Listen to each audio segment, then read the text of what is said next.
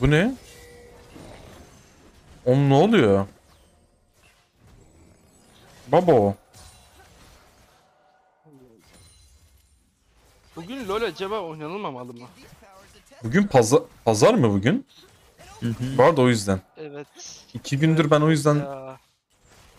Hafta sonları kötü oluyor yani böyle boostlar geliyor.